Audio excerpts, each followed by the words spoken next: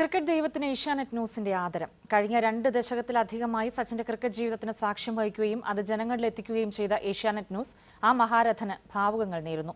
Sports ഡെസ്കിന് സച്ചിന്റെ പേര് നൽകിയ ഇന്ത്യയിലെ ഏക വാർത്താ ചാനലാണ് Asianet news.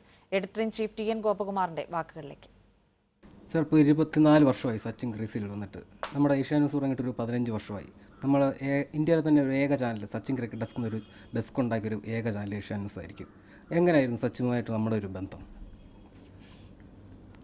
ഏഷ്യാനെറ്റ് ന്യൂസ് തുടങ്ങിയത് മുതൽ സ്പോർട്സിന് നൽകിയിരുന്ന പ്രാധാന്യം വളരെ കൂടുതലായിരുന്നു. പലരും അത് ആവശ്യത്തിൽ കൂടുതലാണെന്ന് പരാതിയും പറഞ്ഞിട്ടുണ്ട്. പ്രത്യേകിച്ച് ക്രിക്കറ്റിന്. ഏഷ്യാനെറ്റ് ന്യൂസ് തുടങ്ങുമ്പോൾ ഈ ക്രിക്കറ്റിന് ഇന്നുള്ള അത്രയും വിലയില്ലായിരുന്നു. ക്രിക്കറ്റ് നല്ല വിലയുണ്ടായിരുന്നു എങ്കിലും ഈ പറയുന്ന വാണിജ്യ ലോകത്തിൽ നിന്നും ഇത്രയും വലിയ പിന്തുണയുമൊന്നുമില്ലായിരുന്നു. ഈ കാലഘട്ടത്തിൽ അപ്പോൾ തന്നെ സച്ചിൻ വിജയിച്ച ഒരു വലിയ വ്യക്തിയായി ലോകത്തിന്റെ മുമ്പിലുണ്ട്. പിന്നീട് അദ്ദേഹം വീണ്ടും വീണ്ടും കടന്നു വരുന്നു വീണ്ടും പുതിയ നേട്ടങ്ങൾ കൊയ്യുന്നു. അങ്ങനെ അതിന്റെ ഒരു നിർണായക ഘട്ടത്തിലാണ് ചില വർഷങ്ങൾക്ക് മുമ്പ് ഇങ്ങനെ ഒരു തീരുമാനമെടുത്തത്. ആദ്യമായിട്ടാണ് നമ്മളുടെ സ്വന്തം ഡെസ്കിന് ഒരു വ്യക്തിയുടെ പേര് നൽകാനുള്ള ഒരു തീരുമാനമെടുത്തത്.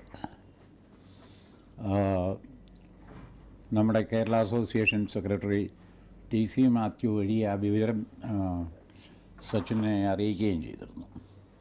അപ്പോൾ അദ്ദേഹം അതിൽ സന്തോഷിച്ചു എന്നാണ് അറിയുന്നത്.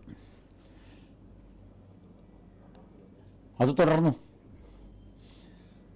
അത് ഒരർത്ഥത്തിൽ ഇപ്പോൾ തിരിച്ചാലോചിക്കുമ്പോൾ വലിയ സന്തോഷം തോന്നുന്നു. സച്ചിനും അതിനേക്കാളും ഗംഭീരമായി അദ്ദേഹത്തിന്റെ കളിയും തുടർന്നു. അന്ന് ആ പേരിടുമ്പോൾ സച്ചിൻ ഇത്രയും കാലം കൂടി കളിക്കുമെന്ന് പ്രതീക്ഷിച്ചിരുന്നില്ല. പക്ഷേ സച്ചിൻ സച്ചിൻ ആയതുകൊണ്ട് കളിക്കാനും നന്നായി കളിക്കാനും സാധിച്ചു.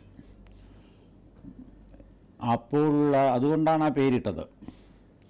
സച്ചിന്റെ ഏറ്റവും നല്ല കാലം ഇന്ന് നാം കണ്ട അദ്ദേഹത്തിന്റെ അവസാന